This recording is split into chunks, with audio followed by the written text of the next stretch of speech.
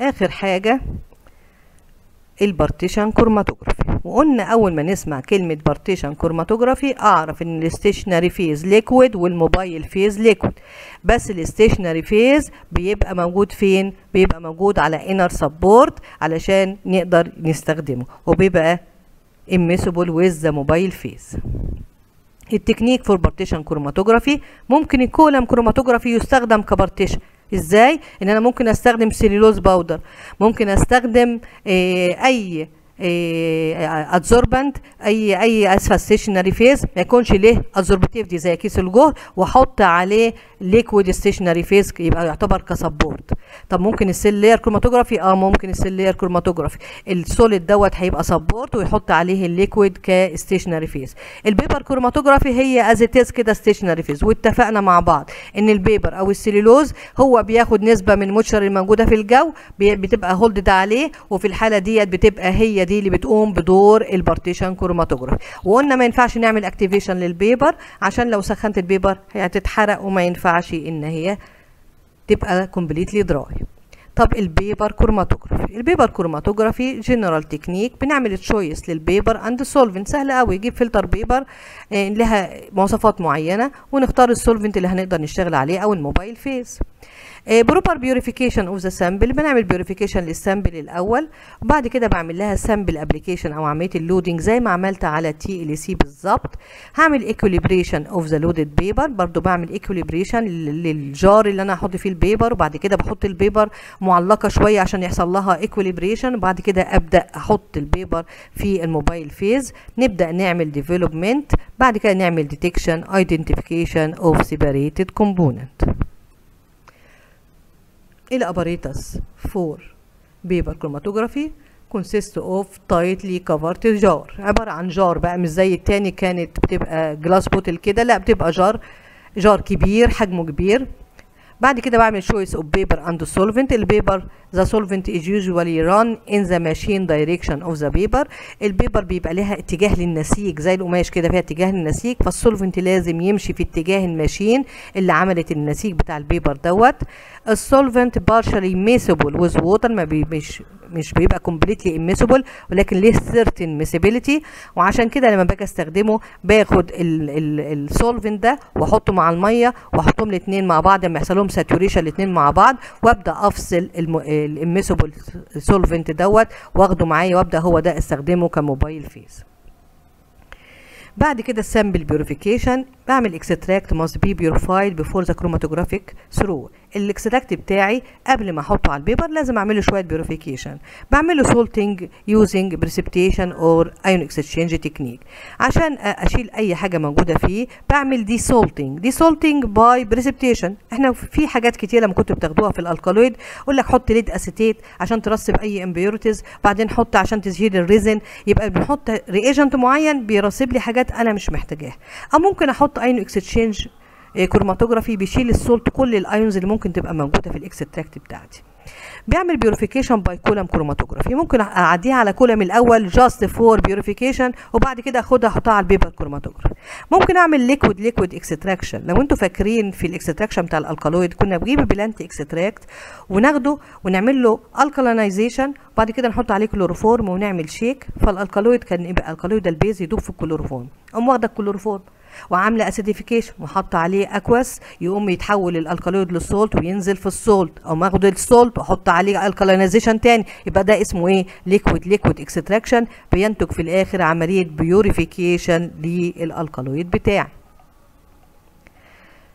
بعمل sample application أو ال loading نفس الكلام اللي إحنا عملناه في ال TLC بس هنا التعامل معانا اسهل. ليه؟ عشان ال paper سهلة. لو أنا عملت عليها application بال capillary ما مش هخدشها ولا حاجة. إنما هناك كنا بنعمل precautions جامدة عشان ال capillary ما تلمس السيل لاير تقوم تعمل خدش في ال plate. هنعمل starting line is marked بقلم رصاص بنعمل خط مرتفع شوية عن نهاية ال paper. ال mixture is then spotted with a small بنعمل drying between each application. نحط مرة ونسيبها يحصل لها drying ونيجي على المركز بتاعها نعمل كمان مرة بعد ما يحصل لها drying ونسيبها ما تنشف. ونشوف ال spot كده concentration معقول ولا لأ. لقيناه عايزين نركزه تاني. هنعمل spotting تاني في المركز لغاية لما يدينا اللون اللي إحنا عايزينه. ال authentic standard material may be spotted ممكن نحط ال standard معانا. بعد كده هنعمل equilibration of the loaded paper. يعني إيه equilibration لل loaded paper هنحط ال paper بتاعتنا هنحط ال jar ونحط فيه ال stationary في ال mobile phase واتفقنا إن ال mobile phase دوت عبارة عن organic solvent بعمله saturation بال water بحطهم الاثنين في separating funnel بعمل shake بيتفصل الاثنين باخد ال organic solvent أحطه في ال jar وباخد ال water أحطه beaker وأحطه في ال jar جنب ال... على ال mobile phase في jar كده جنبه في في في beaker صغير كده جوه ال jar عشان يحصل saturation بين الاثنين وبعد كده بجيب ال filter paper بتاعتي اللي هي loaded أو ال chromatographic paper اللي هي loaded وبعلقها شوية داخل ال jar عشان هي كمان يحصل لها equilibration وبعد كده ببدأ أنزلها تلامس ال mobile phase ويبدأ يحصل ال development بعد ما the data obtained will be constant. لو أنا عملت equilibration كويس ال data بتبقى constant in various run. ال Rf value بتاعتها بتبقى ثابتة. and comparable with each other. ممكن إن أنا أقارنها ببعضها لو أنا عدت التجربة مرة واثنين وثلاثة. بعد كده بعمل عملية ال development عادي خالص. بعمل detection بشوف ال location بتاع ال spot وال visualization بعد كده بشوف ال factors affecting ال Rf value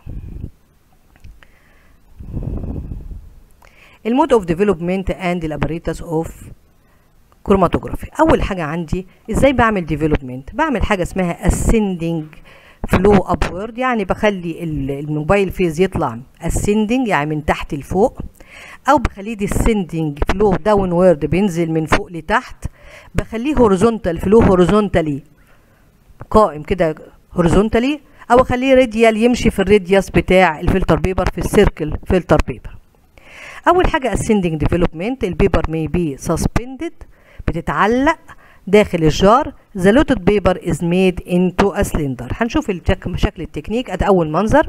أدي ال jar بتاعنا. أدي ال mobile phase بسيبه يعمل saturation لل jar كله بال mobile phase. بيبقى هنا في beaker صغير مش مرسوم في الرسمه بس في beaker صغير بيبقى فيه ال water اللي هي saturated بال mobile phase بتتحط هنا في ال beaker بجيب ديت ال paper بتاعتي بعد ما عملت لها loading حطيت عليها ال sample بتاعتي اهيت بحطها على glass rod وأعلقها جوه ال jar من غير ما تلمس ال mobile phase شوية لغاية هي كمان ما يحصل لها saturation بال mobile phase. بعد كده أبدأ أنزلها لما تلامس ال mobile phase. تبدأ ال mobile phase يطلع على ال spot يبدأ إيه؟ يفصل المواد بتاعتي. ده اسمه ascending ليه؟ لأن ال mobile phase طالع أهو من تحت لفوق. طب ممكن نعمل شكل تاني؟ آه ممكن نعمل شكل تاني. هنجيب ال filter paper إيه زي ما إحنا جايبينها. نحط ال reagent بتاع المواد بتاعتنا اهي عملنا لها loading والنجومين عاملينها زي اسطوانة. اسطوانة أهي. filter paper لفيناها زي اسطوانة ومسكناها هنا ب clips هنا و clips هنا اسطوانة عادية خالص. وبدل بقى ما اعلقها على glass rod والكلام ده قمت موقفة الاسطوانة داخل ال mobile phase هيحصل development للمادة بتاعتي عادي خالص كاسطوانة اهيت بعد ما حصل complete development أقوم جاية فاتحة شايلة الاسطوانة خالص يحصل لها drying وافردها وأبدأ أعين ال RF value بتاعتي. يبقى الاثنين دول اسمهم إيه؟ ascending ليه؟ لأن برضو ال mobile phase طالع من تحت أهو طالع لفوق. نيجي بقى نشوف ال system دوت. ال system ده عبارة عن إيه؟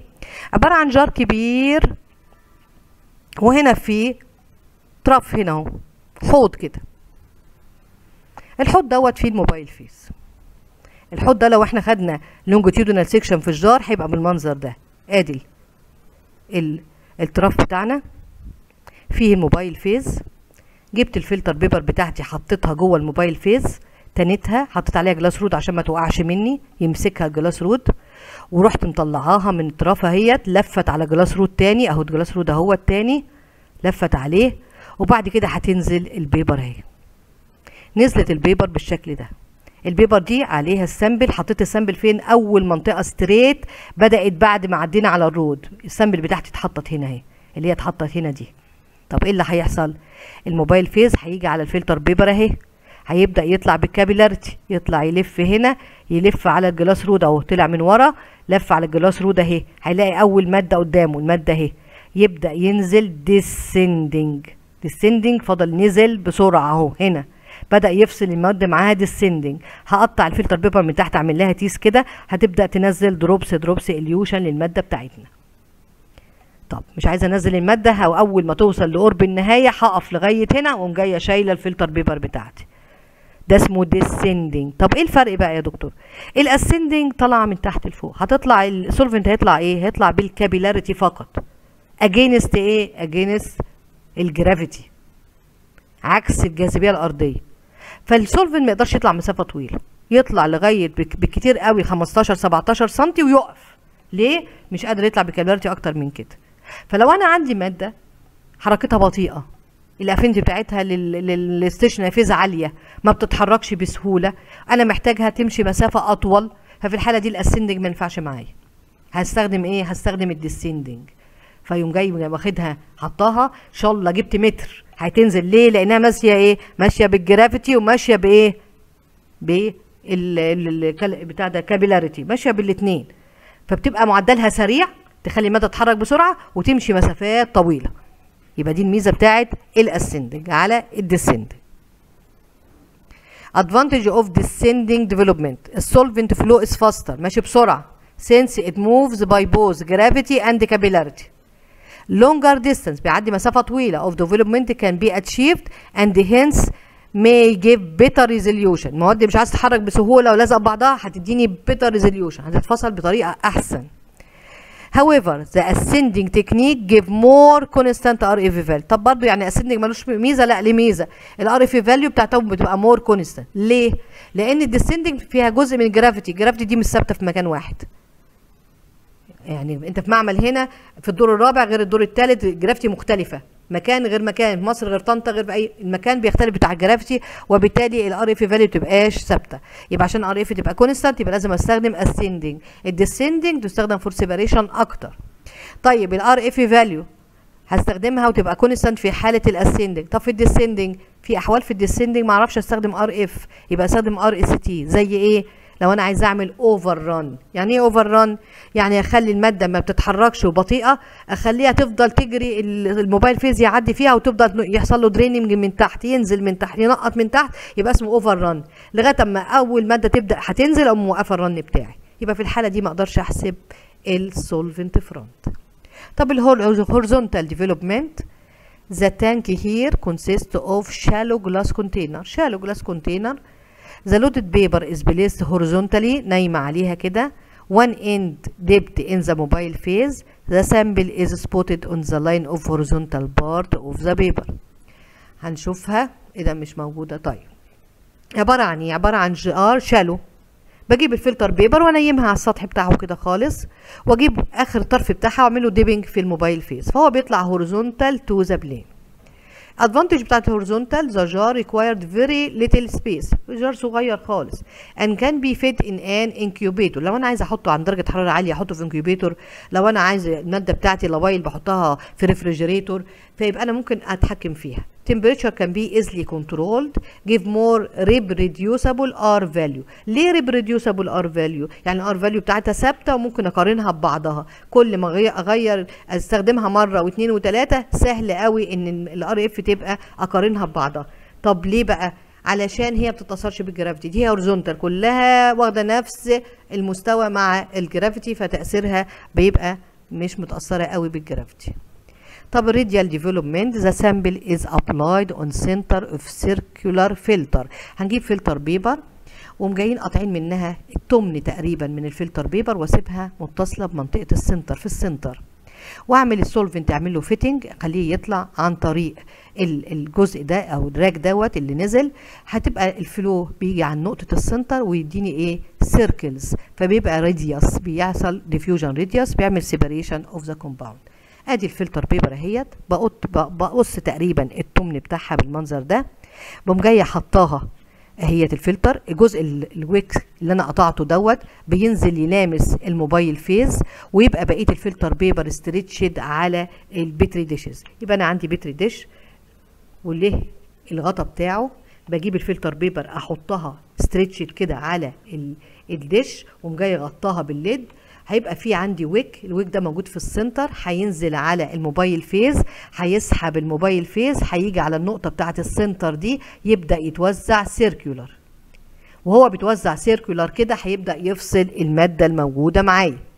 هنشوف بقى كده الواقعي أدي ال filter paper أهيت ه stretched على ال petri dishes الجزء اللي مقطوع دوت نزل تحت أهوت ال wick ده نزل فيه ال mobile phase بدأ ياخد المادة. هيطلع أسفل ال mobile phase هيطلع هيوصل عند ال spot أهيت ال spot دي فيها ال mixture. الجزء ده هيحصل له spreading كده وده يحصل له spreading كده وده كده. هيبقى فين؟ على ال radius هيفضل يفصل المواد كلها على ال radius فالمفروض ان هو يتفصل إزاي؟ circle المادة الأولانية هتديني الحلقة السوداء الأولانية دي المادة الثانية تديني الحلقة الثانية المادة الثالثه تديني الحلقة الثالثه طب إيه بقى المرسوم ده يا دكتورة؟ قلت لك عشان ممكن نستخدمه لأكتر من spot هبعد بعيد عن ال center ده وأحط ال spot ال mixture هنا. واجي هنا أحط spot mixture تاني خالص وهنا spot mixture تالت ورابع وخامس وسادس. طب المي ال solvent أو ال mobile phase لما يطلع هيطلع يجي على ال center ما يلاقيش هنا حاجة. هيقوم جاي ماشي radius يلف إيه radius يلاقي ال mixture ده يفرده هنا يلاقي ال mixture ده هيفرده هنا ال mixture ده يفصله هنا ويفصله هنا ويفصله هنا. يوم يفصل لي أكتر من mixture على نفس ال filter paper يبقى الفكرة filter paper سريعة جدا. تعمل لي أكتر من mixture في وقت واحد. تعتبر horizontal برضو لأن هي كلها موازية لل plate أو موازية لل earth ما يبقى gravity ثابتة فيها. المادة بتتف... بت... بتتعمل radius بتلف في ال radius لأنها واقفة عند نقطة المركز بتاعة الدايرة. مجرد ما بيطلع بيعملها radius ويفصلها وبالتالي بتبقى easy اللي أنا أستخدمها في المعمل. أهي منظر زي اللي أنا قلته أهوت. أدي نقطة المركز أهيت. بيبدأ يفصل لي كل mixture لوحده. أهو بالمنظر ده لو هنا في المركز بيفضل يفصل لي كل المركز لوحده. كده نبقى قدرنا نفصلها ال radial. ال advantage بتاع ال radial chromatography بقى إيه؟ rapid طبعا require minimum equipment طب في special development في ال paper زي في حالة ال TLC آه طبعا في. في multiple development زي ما عملنا في ال TLC بالظبط. يعني إيه؟ يعني ممكن أحط ال filter paper وأطلعه وأحطه تاني وأطلعه and so طب عندي 2 dimension آه عندي 2 dimension ممكن أحطها وبعدين ألفها 90 درجة زي thin layer بالظبط. طب عندي over run development أيوه over run موجود هنا مش موجود هناك. ليه؟ عشان ال over run ما بيتمش إلا في ال descending يعني إيه؟ يعني ال descending بياخد من الطرف اللي فوق وينزل على ال filter paper وبعد كده ممكن أسيبه يحصل له drain ال mobile phase لغاية لما يحرك لي كل المواد اللي أنا عايزه أحركها وبعد كده أوقفه. يبقى ال over run ما بيحصلش إلا في ال paper. طب ما يحصلش في ال TLC ليه يا دكتور؟ عشان مش هعرف أتني ال TLC وأخليها تدخل جوه الطرف الموجود فوق. ولو تنتها نفس ال thin layer silica gel دي هيحصلها crack وتتكسر وت إيه وما تحصلش flow لل mobile phase طب ال over run دي وال two dimension وال multiple development بستخدم فيهم RF value لا بستخدم الايه RST ال two dimension ما بستخدمش معاها حاجة. إنما ال multiple development وال over run بستخدم معاهم ال RST. طب ال reversed phase partition chromatography إحنا اتفقنا ال reversed phase ده عبارة عن إيه؟ عبارة عن ال stationary phase هو اللي non-polar وال mobile phase هو اللي polar يبقى ال stationary phase is non-polar lipotropic liquid such as liquid paraffin وال wax وال silicone oil or rubber هو the mobile phase is polar aqueous solution يعني إيه؟ بجيب support وأحط عليه non-polar liquid زي ال liquid paraffin وال wax وال fixed oil وال mobile phase بيبقى polar aqueous وببدأ أعمل ال development بتاعي. ال acetylated paper being made of non-polar acetyl cellulose acetate. وقلنا ال acetyl cellulose acetate بتبقى reversed phase paper chromatography ال preparative paper chromatography قلنا ال preparative دي تعني separation أو isolation of compound وقلنا عشان نستخدم preparative في حالة ال column كنت بستخدم large column في حالة ال TLC كنا بنستخدم thick plate بدل thin layer بقت thick layer في حالة ال paper عندي طرق كتيرة ممكن أستخدمها في ال preparative. أول حاجة large sheet of paper بدل ما أجيب sheet صغير بجيب sheet كبير وبدل ما بحط spot بحط band كبيرة. طيب ممكن أعمل using thick chromatographic paper بدل ما أجيب large sheet كبير كده و... ويتعبني وأجيب jar كبير عشان أحطه فيه. طب أنا أجيب نفس ال paper تبقى thick تخينة سميكة عشان تستوعب كمية كبيرة. و the band is located and it's cut off carefully and eluted by one of the two methods. يبقى عملنا إيه؟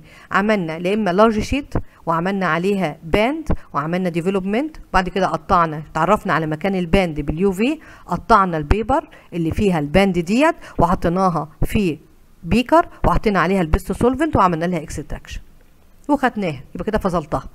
أو ال thick paper نفس الكلام وهعمل location للمادة بتاعتي واقطعها وأعمل لها extraction وببدا كده أتعرف عليها.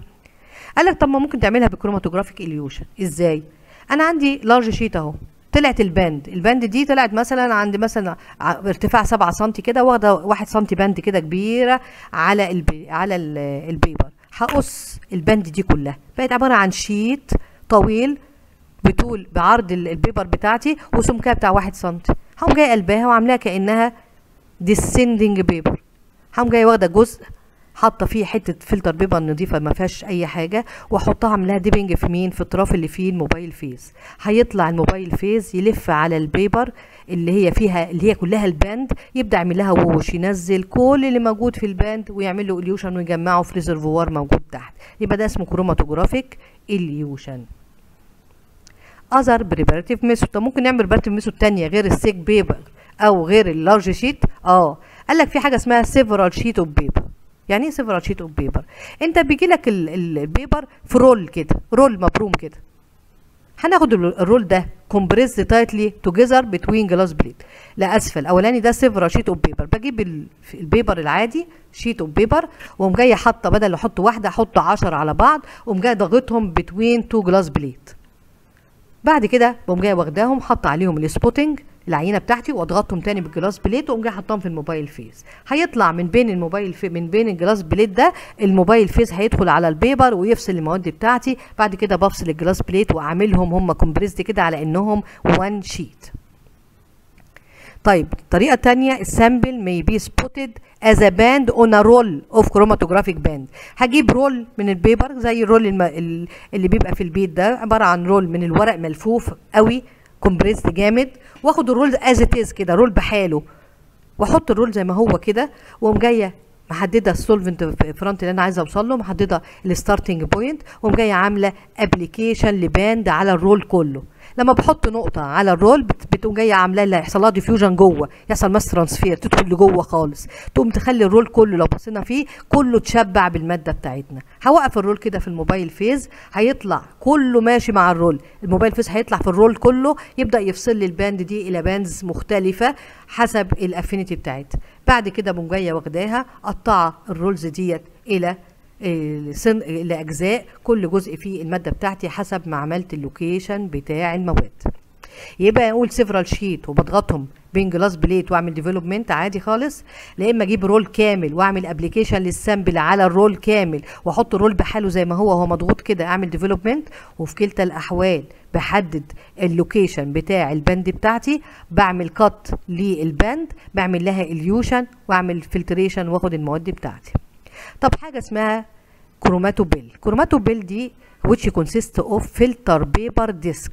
بجيب column كله عبارة عن filter paper disk من ال filter paper صغيرة مدورة واخدة نفس ال diameter بتاع ال column وبملى ال column من ال paper disk دي. وبضغطها جامد جدا وبعمل application كأنها بقت column قدامي. بس ال column عبارة عن إيه؟ عبارة عن filter paper واحط المادة بتاعتي بعمل لها loading وبعد كده بعمل elution عادي خالص بتبدأ يحصل separation طب أنا ممكن أعمل paper disk اللي هي ال chromatopile وممكن أستخدم إيه؟ بستخدم باودر من السيلولوز وفي نفس الحالة هيستخدم برضو فور بريباراتيف ايزوليشن يبقى using chromatopil which consists of filter paper disc of the same diameter sticked inside the glass column and used as a type of column chromatography.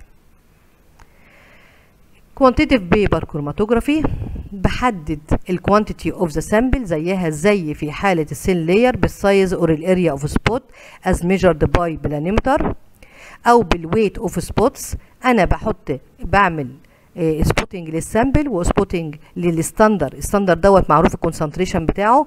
بعمل development بيطلع لي spot من ال unknown و spot من ال standard بقوم جاية قصة ال paper اللي عليها ال spot بتاع ال standard وقصة ال paper اللي عليها ال spot بتاعت ال unknown وقوم جاية وزنة ال standard وأقول الوزنة بتاعت ال standard دي كان فيها كمية من ال standard equal كذا مايكرو جرام يبقى الوزنة بتاعت الأنون دي فيها كام؟ وأبدأ بحسبها وأطلع الوزنة.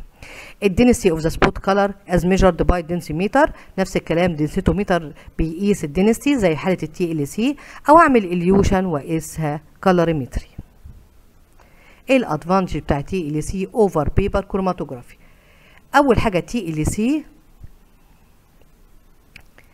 much faster development سريع أسرع من ال paper paper دايما ال development بتاعها بطيء. more sensitive حساس جدا. Separation is better as it given more discrete less diffused spot. ال separation بتاعته حلوة جدا وبتدينا discrete spot وما بيحصلش diffusion ما بيخليش ال spot تبقى كبيرة وتفرش ويحصل لها diffusion زي في حالة ال paper. More versatile thus it has a wider application. بغير كتير قوي في ال solvent بتاع ال TLC إنما في حالة ال paper solvent بتاعها محدود جدا. Result of TLC separation can be directly extrapolated to column chromatography. دايما اجرب قبل ما أشتغل ال column كنا قلنا لازم نجرب ال TLC الأول. فباخد ال TLC وأشوف ال best solvent أفضل أغير في ال solvent لغاية ما أشوف ال best solvent اللي ممكن يفصل لي ال mixture ل spots متعددة. عرفت ال solvent بتاعي عبارة عن إيه؟ وعرفت التركيز اللي أنا حطيته حلو كويس كان قد إيه وعرفت إن ال separation مين المادة اللي بتبقى موجودة ال affinity بتاعتها عالية لل stationary phase مين المادة الأقل ال affinity لل stationary phase عرفت كل النتائج دي أبدأ هي نفس النتائج أبدأ أخش على ال column. أستخدم نفس ال stationary phase أستخدم نفس ال mobile phase أتوقع نفس ال separation technique اللي كان موجود في ال TLC يبقى ده امتداد لل TLC ال سي از بوث كواليتيف اناليتيكال اند ماكرو بريباراتيف تول ممكن أستخدمه في ال qualitative ممكن أستخدمه في ال macro preparative tool يعني في ال isolation of the compound ال corrosive or drastic spray reagent such as 10% sulfuric acid may be used. أنا ممكن أعمل spray for for identification of the compound by drastic spray ممكن أعمل spray ب sulfuric acid إنما ال paper cellulose وال Sephadex بيحصل لهم charring لو أنا حطيت عليهم sulfuric acid هو ال polyamide بيحصل له depolymerization ده هو polyamide بيحصل له depolymerization بيحصل له decomposition يبقى في ال corrosive drastic استخدم ال TLC أحسن واحد. إنما ال paper فيها cellulose وال Sephadex بيحصل لهم charring وال polyamide بيحصل له depolymerization certain additives may be added to the adsorbent to improve separation. ممكن أضيف حاجات على ال adsorbent على ال silica gel ممكن أحط buffer ممكن أحط bases ممكن ممكن أحط complexing agent زي ال silver nitrate أو ال boric acid ممكن أحط حاجات كتيرة ممكن تحسن من عملية ال separation ال fluorescent inert agent may be incorporated. ممكن أحط fluorescent substance بحيث أنا قلت اللي بقى لو كان المادة بتاعتي non fluorescent يبقى أحط fluorescent silica gel عشان يبان إن المادة بتاعتي dark spot in fluorescent background ال choice of solvent is more than the paper طبعا ال solvent في حالة TLC سهل جدا الاختيار وممكن أغير في أكتر من حاجة أحسن من ال paper ال advantage of paper over TLC ال Rf value are more reproducible in paper في حالة ال paper بتبقى more reproducible بتبقى ثابتة constant وممكن reproducible ممكن أقارنها مع بعضها وممكن تبقى ثابتة لفترة طويلة. paper chromatogram gives permanent record يعني ال paper ممكن أخد ال paper دي وأحطها في الرسالة بتاعتي أحطها في ال note بتاعتي تبقى ثابتة فترة طويلة. ال TLC permanent record can be made by TLC صعب إن أنا أعمله. مش معقول أحط slide جوه رساله فقال لك أنت ممكن تتحايل على الأمور بحيث ال TLC تخليها permanent تخليها بيرمننت إزاي؟ reproducing paper replica يعني ممكن تجيب ورق ورق فلتر بتاع ده ورق paper شفاف كده زي ورق. وت... وتشفها. تشف نفس ال TLC ممكن تعمل فوتوغراف تصوره. وتحطها كصورة. ممكن تعمل له spray the layer after visualization بعد ما جبت ال TLC وحطيت عليها سبراي وبقت فيها ألوان باينة أقوم عاملة عليها سبراي ببلاستيك. وبعد كده أقوم جاية شايلة البلاستيك بعدين يبقى عندي replica من البلاستيك. طب ال paper chromatography operation is much cheaper than TLC سهل قوي ورخيصة عن التي ال سي ابلكيشن اوف بيبر والسين لاير كروماتوجرافي واتفقنا الابلكيشن كلها كواليتيف كوانتيتيف اند بريباراتيف ديترمينيشن identification of component of mixture according to the RF أو RST value identification of a given plant constituent or extract which help in chemotaxonomic research and in determination the, geographical sources of the plant extract أنا عندي plant معروف جبته من سينا مثلا والنبات دوت من عائلة معينة عليها هتلاقيها chemotaxonomic classification معين. ولقيت نفس العينة ديت مثلا في الساحل الشمالي في حتة تانية خالص. طب أنا عايز أعرف دي زي دي بالظبط وفيها نفس الحاجة عشان أحطها تبع chemotaxonomy chemotaxonomy بتقسم المواد حسب ال chemical compound الموجودة فيها. فبعمل إيه؟ بجيب spotting من ال extract ده و spotting من ال extract ده وأعمل لهم development وأشوف ال pattern بتاع ال separation من غير ما أفصل ومن غير ما أعرف المواد ومن غير ما أعمل أي حاجة. ال pattern of separation هبص للاثنين نفس الشكل الشكل نفس الألوان نفس كل حاجة. بعد ما عملت لهم spray ب different reagent لو الاثنين شبه بعض يبقى احطهم في نفس ال classes تبع ال chemotaxonomic research help determine the purity of a given compound. واحد جاب لي مركب وقال لي ده pure atropine مثلا. طب أنا عايزه أشوف هو pure atropine ولا لأ. فبقوم جاية جايباه وعاملة له spotting على paper أو على TLC وحاطة جنبهم standard atropine وعاملة development وهشوف هل هو طلع في نفس ال Rf وطلع one spot ولا في أكتر من حاجة. لو في حاجة تانية يبقى هنا دوت إيه مغشوش أو في نسبة decomposition product فما أقدرش أخده وأقول لأ ده في حاجة غلط. طب quantitative determination قلنا بال area under the peak macro preparative وقلنا دوت for separation of compound يا إما استخدم thick paper أو استخدم thick TLC thin layer chromatography is special useful for radioisotopes وقلنا السيل لاير هي الوحيدة اللي ممكن تستخدم في radioisotopes determination إنما ال paper ما بتستخدمش في حاجة زي كده. كده يا جماعة يبقى إحنا خلصنا الكروماتوجرافي كله. وإن شاء الله رب العالمين هنزل لكم أسئلة لل training عليها على كل تكنيك هنزل مجموعة أسئلة على ال column chromatography ومجموعه على ال thin layer ومجموعه على ال paper chromatography وإن شاء الله يكون في طريقة للتواصل بيننا بإذن الله على ال group بتاع ال student على الفيسبوك أو إن شاء الله على الواتساب بتاعي الخاص وإن شاء الله بالتوفيق. شكرا. السلام عليكم.